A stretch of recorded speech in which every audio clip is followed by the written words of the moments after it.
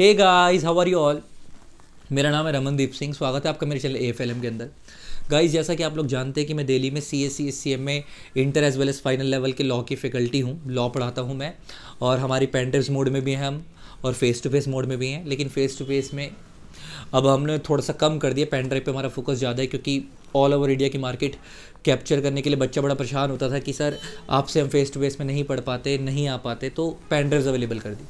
Mainly मैं बात आज किस टॉपिक पे लेके जा रहा हूँ कि आज मैं बात करूँगा एक सी में स्टूडेंट को स्टाइपेंड कितना मिलता है। तो सर, इसकी दो कैटेगरी बना देते हैं।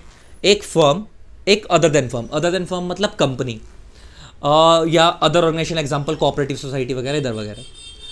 लॉ कहता है कि अगर आप फर्म में ट्रेनिंग करते हो होती है ना सी में फर्म और आपको पता है आपकी आर्टिकलशिप तीन साल की है, लेकिन सिक्स मंथ्स की आपको मैंडेटरी है पहले करना, उसके बाद आप फाइनल दे सकते हो। देन उसके बाद आप ढाई साल की बनने के बाद भी कर सकते हो। तो आपका, अगर आप किसी सी एम में फर्म में आर्टिकलशिप करते हो तो आपका जो पहले साल स्टाइपेंड होगा, वो होगा two thousand minimum minimum second year three thousand third year four thousand वो अलग बात है कि अगर आज की डेट में इतना लोग नहीं देते, आपको मिनिमम पाँच छः हज़ार मिल जाएगा। लेकिन आई सी एम ए आई के नॉर्म्स यही हैं।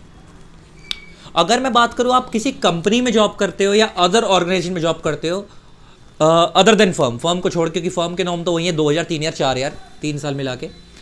अगर पर मंथ है, और अगर मैं बात करूँ आप लोगों से कि आप किसी कंपनी वगैरह में जॉब करते हो, इसकी दो कैटेगरी बना देते हैं। एक मेट्रो सिटीज़ एक अदर देन मेट्रो सिटीज़ जैसे दिल्ली वगैरह, मुंबई वगैरह मेट्रो सिटीज़ हैं। तो अगर मैं यहाँ पे बात करूँ तो आपका अगर आप दिल्ली, मुंबई वगैरह में जॉब करते हो तो आपको जो स्टाइपेंड मिलेगा कंपनीज़ के अंदर, वो मिलेगा फ़र्स्ट ईयर में टेन थाउज़ेंड मिनिमम वो भी। सेकेंड ईयर में twelve thousand five hundred third year में फिफ्टीन थाउज़ेंड मैं एक चीज़ बता दूँ, इतना मिनिमम स्टाइपेंड किसी भी इंस्टीट्यूट ने प्रिस्क्राइब नहीं कर रखा, ना तो सी एस ने सी ए वालों ने, ना आई सी आई ने, ना आई सी एस आई ने, सिर्फ़ आपके ही इंस्टीट्यूट ने किया है इतना मिनिमम स्टाइपेंड प्रिस्क्राइब और अगर मैं बात करूँ आपका अदर दैन मेट्रो सिटीज़ में अगर आप किसी कंपनी वगैरह में या अदर ऑर्गेनाइजेशन में जॉब करते हो आर्टिकलशिप करते हो ट्रेनिंग करते हो तो आपको पहले साल मिलेगा आठ हज़ार सेकेंड ईयर मिलेगा टेन थाउज़ेंड थर्ड ईयर मिलेगा ट्वेल्व थाउज़ेंड इसका मतलब फॉर्म्स के लिए क्राइटेरिया वही है, दो हज़ार, तीन हज़ार, चार हज़ार। लेकिन कंपनीज़ के लिए मेट्रो सिटीज़ और अदर देन मेट्रो सिटीज़ के अलग अलग क्राइटेरिया हैं, मैंने बता दिया आपको। और जो मैंने बताई, ये मिनिमम है। अगर कंपनी देना चाहे तो इससे ज़्यादा मैक्सिमम दे सकती हैं। सेम फर्म के लिए भी मिनिमम इतना है, अगर फर्म भी इससे ज़्यादा देना चाहे तो दे सकती हैं। और ये जितने मैंने बताया ये पर मंथ बेसिस पे है। और ऐसा नहीं कि मैं आठ हज़ार रुपये पर एनम बोल रहा हूँ दस हज़ार रुपये पर एनम बोल रहा हूँ। ये मंथली बेसिस है दस हज़ार रुपये भाई। इतना ना ना सी एस वाले देते हैं ना सी ए वाले देते। तो आई होप आपको अपना स्टाइपेंड क्राइटेरिया पता लगा होगा। हालाँकि आपको बता दूँ कि आपका स्टाइपेंड पहले कम हुआ करता था कंपनीज़ के केस में।